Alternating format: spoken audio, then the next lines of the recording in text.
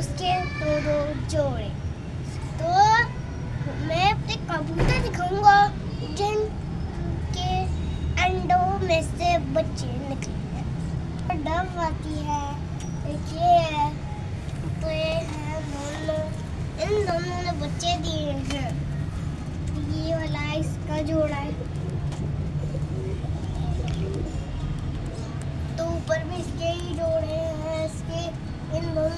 यदि हेतु तो, तो ऊपर के बच्चे थे। ये तो